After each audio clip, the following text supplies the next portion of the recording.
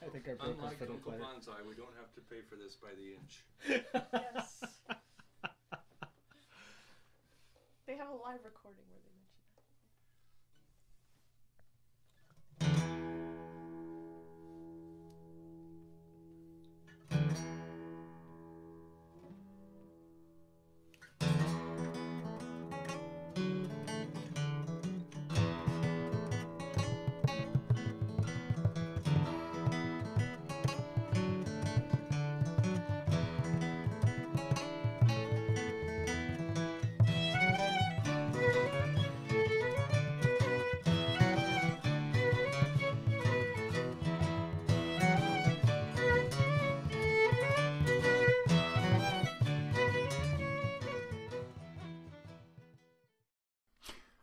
We're back.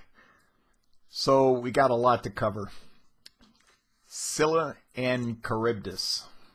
Now, this is a real interesting, maybe a little bit dicey episode. Okay, so hopefully I can bring you some new insight and something to make this uh, a little more easy to get through. Okay, so I'm going to try to open some doors for you and, and make this chapter more fun than it might have been the first time you read it. Now, I encourage you after this video to go back and reread that chapter. And I think you'll get a little bit more out of it because there's some pretty esoteric kind of references. And I'm going to blow the doors off the, the whole thing here. So I'm going to give you a big piece of insight. And when you go back, you'll see it and say, aha, Joyce is a genius. And that's why we're doing this, for fun, right? So now, before I start, I have something I want to address here. I have a comment I want to make. I got a comment from one of you that said that, well, I got I got an adorable. Now, in the history of Joyce videos, Ulysses videos, lectures, uh, uh, books written on the subject, essays written on the subject, I doubt that anyone ever in the history of Joyce editorials has ever gotten an adorable. Thank you. I appreciate it and it means a lot to me and I will cherish it and if I had a little trophy I would put it on the wall for every video. That's how much I appreciate your comments. And it's nice to get an adorable for a Joyce video. Now, there's another thing I want to address here, and that's this whole that uh, idea of Scylla and Charybdis. You'll see online news. How do you pronounce these things? And people will say that Charybdis, that can't be, that's impossible, it's, uh, it's an error, somebody's made a mistake along the line. There are no female gods that end with an S. You'll see this comment frequently. Well, if anybody says that to you, or you come across that comment, you might mention Nemesis. Nemesis was a Greek goddess that certainly does end with an S. So they're wrong. So you can be a, a wise guy. I mean, part of reading Joyce is you're going to be a wise guy anyway, right? So there's one for you. Now let's get let's get on with our episode. In the Odyssey, Odysseus is faced with having to navigate between these two big hazards. Um, I, it, these things always make me think, well, why didn't he just go around? Like he had to go between two islands, and the only way to get there was there was this big hazard on the right and the other hazard on the left. And I think, well, why don't you just go around? I mean, the guy's been sailing for 10 years, right, trying to get home to go around the island. But um, I guess it didn't work that way in those days. So he's faced with Scylla and Charybdis. Now, Charybdis is this cyclone. Uh, it's a it's a big drain in the ocean. It's spinning around and it will suck you in and take everything there is. And after it sucks everything down, drowns and destroys, then it spits it all back up in a day. So it has a daily cycle of draining everything down, and then after it drains everything down, sucks it all into the bottom of the sea, then it spits it up later. Now you can identify where this whirlpool is because it is underneath this big fig tree. so the fig tree is probably an attraction for ships that uh, oh there'd be food or shade or or it looks like an island. So they go to the fig tree and then they get sucked in. So underneath this tree is this whirlpool drain that pulls everything in. It sucks you down. Scylla is a six-headed monster that uh, each head needs a meal, so chomp, chomp, chomp. If you go through and face Scylla, you're going to lose uh, at least six people because all those six heads going to eat.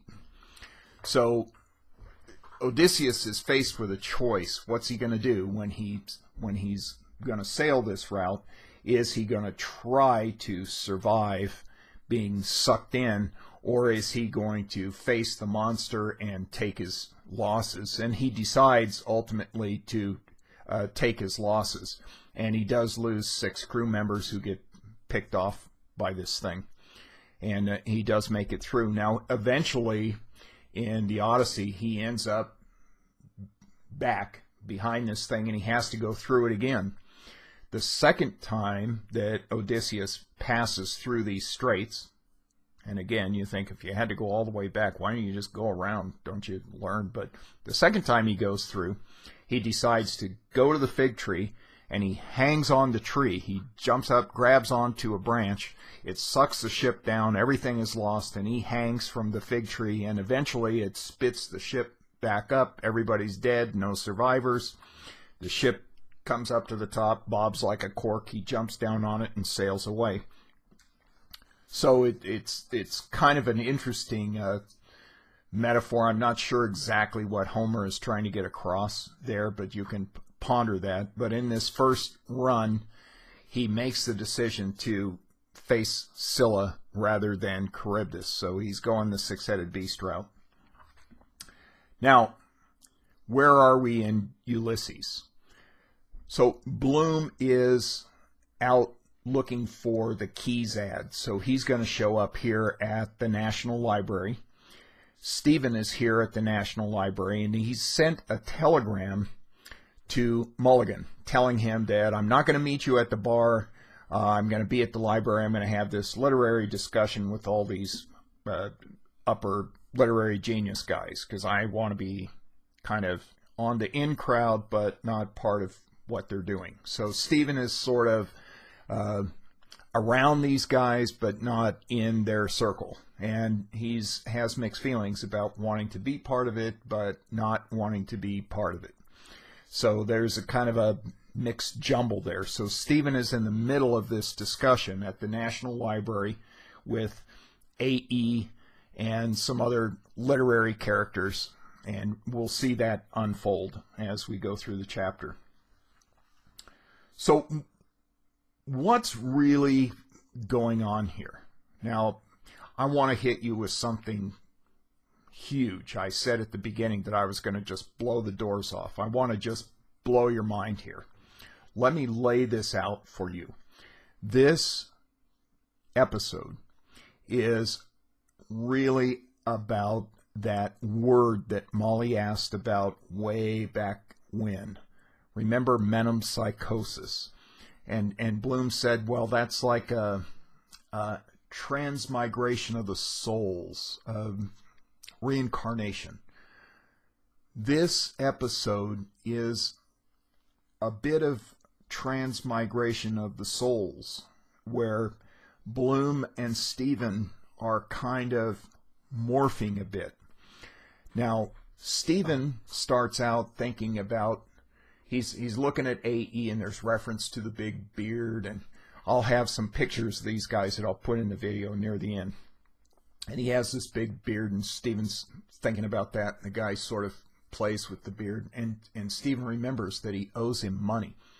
He owes him a pound and then he says, "Well, you know, but but the the, the molecules change, right? Because we're always, we drop molecules, get new molecules, cells die, we slough them off, we make new ones. And Stephen thinks, huh, do I owe him or was that the old me? You know, who, that's the new me that's uh, here now, so uh, maybe he doesn't know him. Now, what's interesting about that is remember in the in the last episode, Bloom had a very similar thought. He was thinking about Molly and he said, "Me then, me now, happier than." And he sort of thinks about this idea about whether it's the same him or whether that was an old him or a, a, a different him. Was that just a different time or was that a different person? And he says, happier, happier then. Things changed after Rudy. Um, so, so Bloom is dealing with the same issue. Now, I would say that this book is not a recreation of the Odyssey. This is certainly not, Bloom is not out looking for a son, okay? And Stephen is not out looking for a father. But they are looking for themselves. And I believe that the name Bloom was chosen by Joyce because this character will bloom into the being that Joyce wants to be or that he sees as as a good, mature, thinking, solid, intelligent character. That that name Bloom has very. Joyce doesn't choose any words frivolously. That has meaning, and so he's thinking about that, and that Bloom is evolving and blooming into something. Now, Stephen Dedalus is Joyce's alter ego in his earlier books. Portrait of an Artist as a Young Man is the story of Stephen Dedalus, which is really Joyce's autobiographical piece. All right, it's really about himself. But he's growing up, he is maturing, and we're seeing the metempsychosis of these characters where that, as I say, Bloom is not looking for a son. Stephen is not looking for a father. They're looking for themselves. And we are going to see Bloom bloom to the mature man. And we're going to see ultimately that Joyce puts away the Stephen character and becomes the mature Bloom type character. Okay? So, keep that in mind as you go through this chapter because there are some rather esoteric references to what's going on here. But you will see as we go forward that Bloom is blooming. All right, Stephen is still struggling to find himself and what he wants to be and where he wants to go and how he wants to do his life. But Bloom knows what his problems are and he's trying to figure them out. He's got the issue with Molly and he's just life in general. He's working through things. On we go. Okay. So we're developing the great theme of the book, this idea of bloom, which I think this is where Joyce is really the genius. This is where it just gets beautiful touching. If this doesn't reach your soul, then I don't. You haven't got one because this is this is as good as it gets. His words, he's got humor in here, but it's very touching to see this development of these characters, this this blooming. So watch for it in this chapter and watch for how Joyce explains this idea to us without clobbering us on the head and being so obvious about it. And I've mentioned that concept before that Joyce doesn't just put it out there for you. He gives you all the parts and lets you go to that mental playground and build it yourself. So, where do we see this idea of bloom blooming?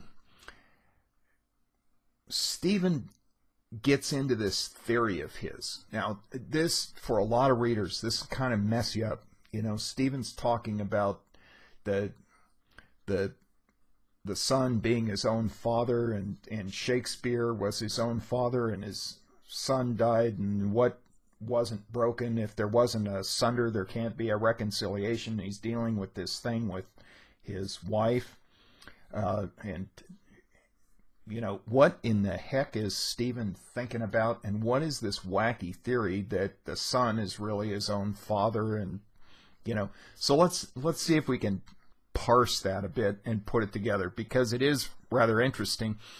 And, you know, the minute we get too serious about this and say, oh, this is a Freudian analysis of the, you know, and then they ask Stephen, well, do you believe this? And he says, no. you know, so we're we're kind of cautioned by Joyce not to take this all too seriously, but he's trying to tell us something here. And what he's trying to tell us is I think very fascinating stuff. All right? So let's let's take a look at it. In Hamlet. Now, Shakespeare had a son, Hamnet, and he died we don't know the cause, probably plague. He died at 11 years old. Now, see how all this stuff starts fitting together. You know, Rudy's, it's been over 10 years since Rudy died. And, you know, here's Shakespeare's son died at 11. And Shakespeare, in, in the play Hamlet, when they produced the play, Shakespeare himself played the role of his father's ghost. So when you hear, you know, Shakespeare, I am your father, you know, that's Shakespeare playing the role of his father. So that's why Stephen gets into this thing about Shakespeare is his own father, and he also lost a son. The son becomes the father, and that you know this whole thing gets kind of blended up. But there's a clue in there about this idea that I'm giving you about Bloom blooming, that this book is really about that. Now, keep keep that in mind, okay, as you go through. This is a this is a whiz bang fun chapter if you allow yourself to play with it. If you try to over intellectualize it, it can get rough. You, there's a lot there if you want to do that. But I say if you just enjoy it, wow, Joyce has really built the playground, and there's a lot of stuff to play on. There's swings and slides and all kinds of jazz we can play around on here. So keep that in mind. So we have Hamlet and Hamnet, the the sons. We have the the son Shakespeare being his own father. So we have this this blending of these characters. Now, think about some of these lines that that come out in the in the chapter. There's a great quote in there that one says, "The boy in Act One is the mature man in Act 5. Bloom, boom, drop the mic, boom. I think that's just amazing that that just pops out in conversation. Now, I think Joyce is telegraphing you that you know, the young guy early in this book is the mature guy later in the book. Watch for this development. Watch for this this metempsychosis that's going on that he gave us right at the beginning. That that's what this book is going to be about. Molly and her put the thumbnail on the book and make the little mark. And what is this word? You know, who, who, who tell us who he is when he's at home. That's what it's all about. Okay. So we're starting to see some very interesting development here. So again, the quote, the boy in Act 1 is the mature man in Act 5. Wonderful stuff. I find this just absolutely fascinating. There's a lot of little jokes in this episode too. I love it when Stephen's thinking about he owes AE. The guy's going on and on, you know, and and Stephen's thinking that he owes him money, and uh, did he make good use of the money? And then there's that quote, I paid my way. I paid my way. He thinks of Deasy's words when Deasy tells him that he's always paid his way. And, uh, you know, Stephen starts thinking about that. I paid my way. And he, he got the money from AE, borrowed a pound, and then he went off and, and drank it. And then he went to a, uh, uh, bordello and used it on a prostitute and um, he probably has some health consequences of that. And so he's kind of rehashing, what did I do with that money I bought? Oh, that's right. Yeah, now I now I remember. He probably told him he needed a pair of shoes or something, and you know we know how he did it. And then he thinks about, well, do I owe him? And he's really changed, and he's he's uh, new him. Is it me that owes him, or old me, or um, you know, there's that little bit in there. And then he says, A E I O U, you know, which is, you remember from school about learning the vowels, A E I O U. So Joyce is always playing around. There's all kinds of little fun things in this chapter to look out for.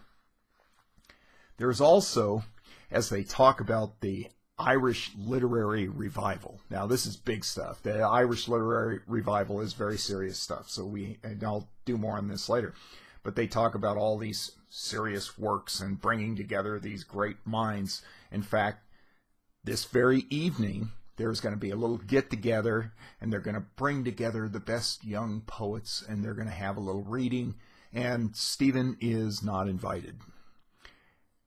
Who is invited? well, the best young poets of our time, which Stephen certainly fancies himself as one of those, but he's not invited.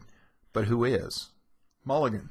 Buck Mulligan. Here's this dolt from the tower that did the phony uh, service while he's shaving, and he's a boozer, and certainly not somebody you would think of as an intellectual. He's invited to this gathering of the best young poets, and Stephen is not. And they talk about it with him sitting there. They don't say, "Well, oh, by the way, if you're, you know, doing nothing, what?" They don't even make an effort to do that.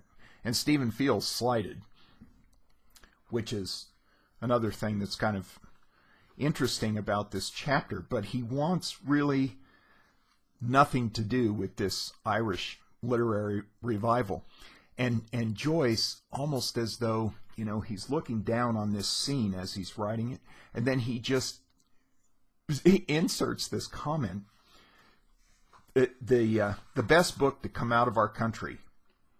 One thinks of Homer. Yeah, I think that's just a riot. Um, Homer, of course, that's the author of the Odyssey. Ulysses. So the best book to come out of our country one thinks of Homer. Uh, it's you, you just can't make this stuff up. Well, I guess you can. He did, right? So, I mean, I think that's so extremely clever that uh, Joyce, while they're talking about this Irish literary revival and excluding Stephen from it and all this jazz, then end comes this comment about the best book to come out of our country. One thinks of Homer. It's just it's a it's a riot. The guy's sense of humor is just amazing, and his intellectual capacity with words just blows my mind. There's so many dynamics happening in this chapter that are fun. So let's look at Scylla and Charybdis as it affects Stephen. All right. Now, Stephen was offered work at the newspaper. You know, they wanted him to write something, write something in Gaelic for the newspaper. And Stephen didn't want to do it and he wasn't going to do it. And then remember, he told him that that story about the uh, uh, the the um, plums of Pisgah, right? That the two women went up the tower and spit the seeds out and and left them kind of shaking their heads. He blew them off. He didn't want to get involved. He's not going to write junk for the paper. He's not going to write stuff for mass consumption. That's not going to happen. So he's basically declined that. Now he's got Scylla, you know. So rather than get sucked into the life of just writing junk for the newspaper to please the editor and the masses, public consumption, he doesn't want to get sucked into that because once you get in, you start getting a paycheck, you never get out, and he knows that. Now he has to face these guys and the Irish literary revival. He talks about AE, WB, Synge, uh, Lady um, Gregory. There's a there's a whole cast of characters that are trying to revive the old Irish language, Irish tradition, mythology, all the old stuff. Stephen wants no part of that. But here he is in the library, and you got these six heads uh, how many there are, trying to pick him off. He's facing Scylla here at the library, and he doesn't want to be part of this Irish literary revival. And to an extent, they're kind of excluding him anyway because he's not going to be part of the best young poets to come along and uh, read at this thing. Now, Mulligan is a real character based on a guy um, named Gogarty. Uh, I, I believe it's uh, St. John Gogarty. I think it's his uh, full name.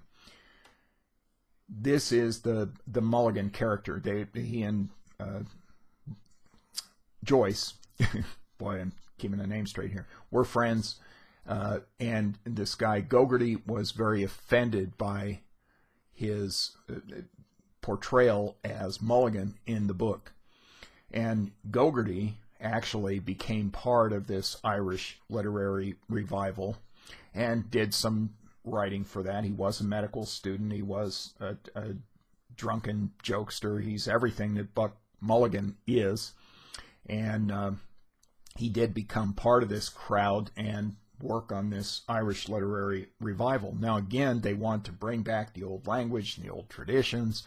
And anytime you see a reference to uh, Fergus, that's that's part of that mythology. You, you'll see several references in this episode that tie into that stuff. Now, what happened?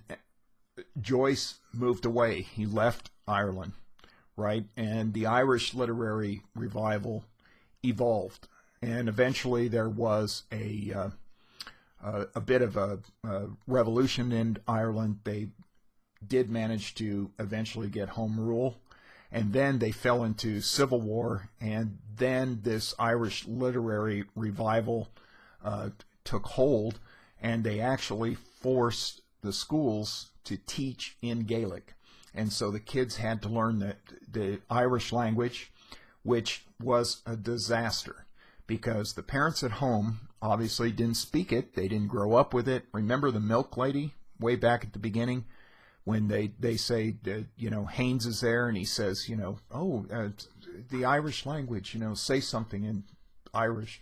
And, and she doesn't know the language. She doesn't remember it you know, and and she's an old lady and she doesn't remember it. It's died out. It's gone. So the result of this Irish literary revival is that they force Gaelic to be taught in the schools. They force the schools to teach in Gaelic, not just teach the language, but to teach the courses in Gaelic. So you had a generation of kids grow up with this language that was not used anywhere. It wasn't used throughout the British Isles. The parents didn't speak it. The grandparents barely remembered it. It wasn't used on the continent. So you had a generation of kids that, for all intents and purposes, were illiterate. And it caused great poverty. It put Ireland back 50 years. Ireland, by the way, is one of the most successful nations on earth today. If you look it up, their their um, uh, GDP is great. The, the country is thriving and, and doing great, but it took them a long time to overcome all this crud that Joyce says, don't go to that Scylla. Don't get picked off with that stuff. And he resisted it. He even moved away from Ireland to do his writing because he could feel that Scylla and Charybdis picking them off and sucking them in. And so that revival really costs the country dearly, which I, I think is kind of fascinating the way that played out in, in real. So to wrap this up, again, Bloom is at the library. Now, what's he doing there? Why is Bloom at the library?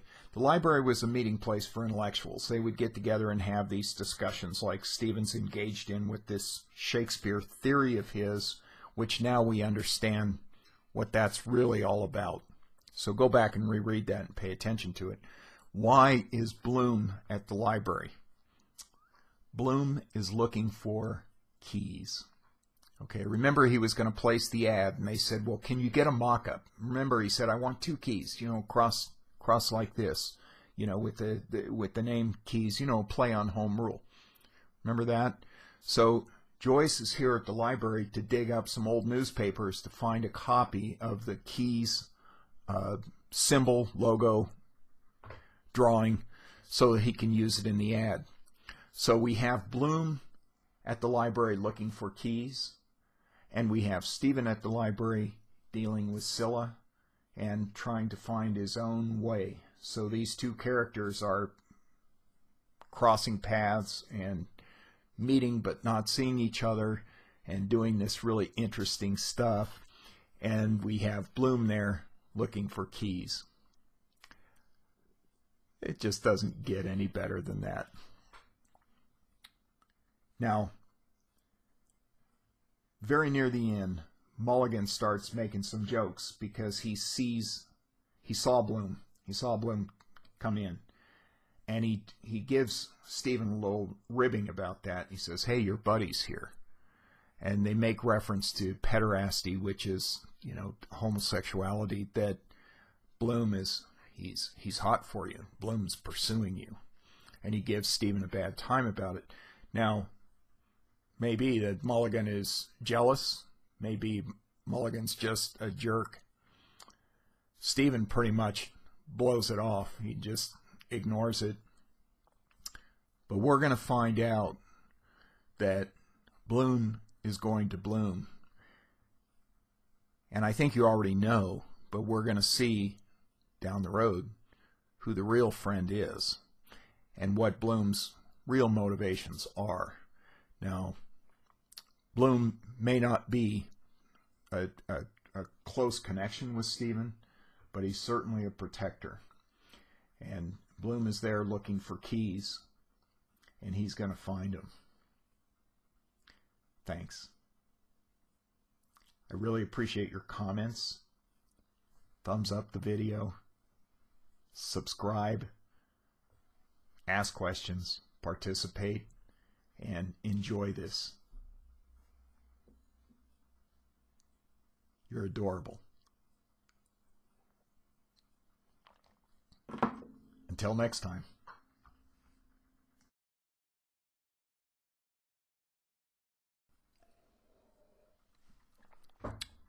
You're back. You're back already. This is a bonus video. I'd like to show you some of these characters. First up, Gogarty. Number two, this is so I know where to put the picture. Clever, huh? A.E. A.E. is George Russell. The guy with the beard, right? Lady Gregory. Now, Lady Gregory is an interesting character. She went off, traveled the countryside, and, and went way out in what we would consider the sticks, which is a pretty bold thing for a woman to do, to travel by herself off into the extreme boonies and, and stay there for long periods of time to record the um, mythology and tradition and, and you know she's part of this revival. So she was off looking for the the ancient stories and she had a lot to do with capturing a lot of the old Irish uh, myths and histories and traditions. So she's quite known um, Lady Gregory. Then we have John Synge uh, he's referred to in the episode number four John Synge and last but definitely not least, number five, WB. WB in the episode is W.B. Yeats. Yeats is a great poet. I love Yeats. I love his work. I would encourage you to look up some poetry by Yeats and see if it doesn't catch you. These references to Fergus are largely from Yeats. He writes, uh, he has a lot of references. Uh, Fergus, uh, the Curlew, um, a lot of the old Irish tradition. That was his thing, was to bring that stuff into poetry. So I wanted you to see those characters. And then finally, here's a shot of the National Library so you know where all these guys are hanging out and give you a sense of where they are. Cheers.